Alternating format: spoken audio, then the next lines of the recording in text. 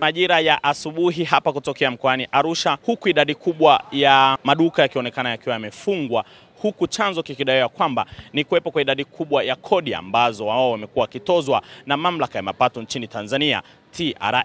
Kwa mujibu wa wafanyabiashara ambao wamezungumza na waandishi wa habari, wamesema kwamba kumekuwepo na idadi kubwa ya kodi ambazo zinapelekea wao kushindwa kufanya biashara, huku jambo lingine wakisema kwamba ni kiwango kikubwa cha faini ambacho wamekuwa wakitozwa ikiwemo milioni 15 za Kitanzania ambacho wanadai kwamba hutozwa pale ambapo wanakutwa wakifanya biashara bila kutoa risiti. Kwa jina naitwa Mwanahamisi.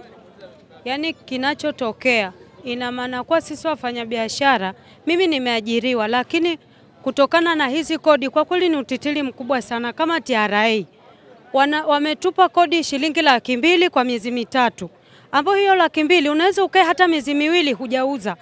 Manispaa nao wame, wa, wametupa kodi ambayo ni laki na nusu, ambayo tulikuwa tunalipa laki na, na elfu mbili mwaka huu wametukadilia wakatupa laki na nusu, na mimi hapa na, nauza naweza nikaa hata miezi mitatu sijauza, bado taktaka shilingi elfu kumi. Bado fayatingisha shilingi elfu ishirini.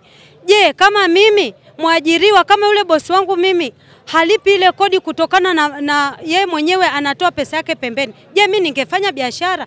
Ina maana kuwa jamani, tunaomba. Serikali, Mama Samia popote alipo atusikilize sisi wanawake, kwa sababu kuna wanawake sisi kama waajiriwa, tajiri yoyote hawezi kujua kwamba mtu wa hali ya chini anapitia maisha gani. Kama mafuta sasa hivi au sukari dukani imepandishwa bei ni shilingi elfu tatu, mwananchi wa hali ya chini hawezi kununua ile sukari kwa shilingi elfu tatu. Ina maana anateseka na mlo ni kwa siku mlo mmoja. Tajiri hawezi kula mlo mmoja kwa siku. Mimi hapa nakula shilingi elfu tano na watoto watatu. Je, na, nakizi mahitaji ya wale watoto? Tunamwomba Mama Samia popote alipo na hawa viongozi ambao ni wakubwa wa, ma, wa masoko ha, yani wanajirudisha nyuma kwa wananchi na wanaogopa serikali yao.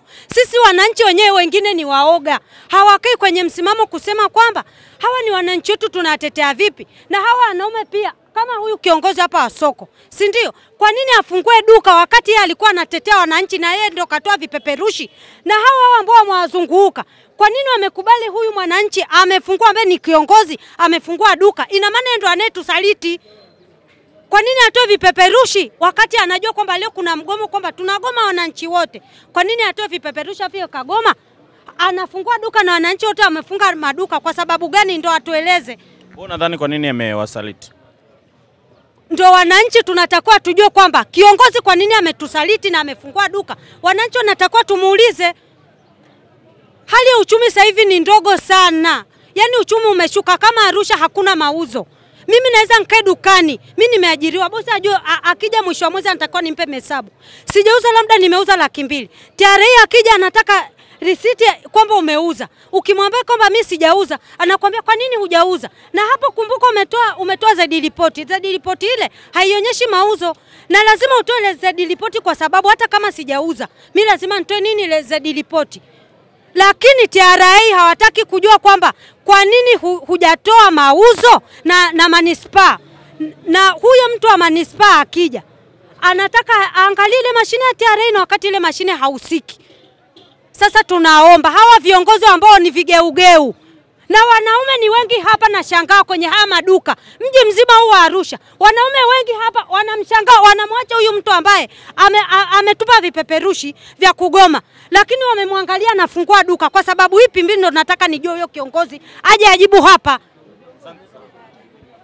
Kwa majina yangu naitwa Polinari Msele na tuko kwenye, tuko kwenye mgomo kwa sababu ya kodi ya CFC levy uh, usumbufu wa TRA na mambo mengine mengi ambayo yanatukumba sisi wafanyabiashara.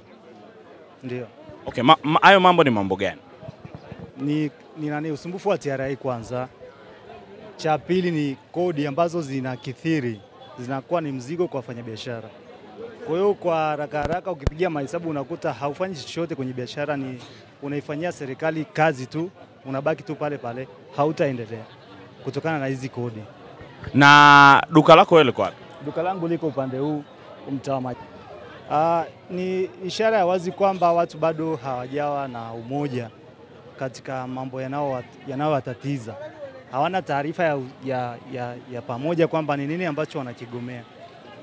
Haijafahamika itakuwa ni mpaka lini, kwa sababu hakuna taarifa rasmi inayosema ni lini au serikali itatoa tamko wakati gani.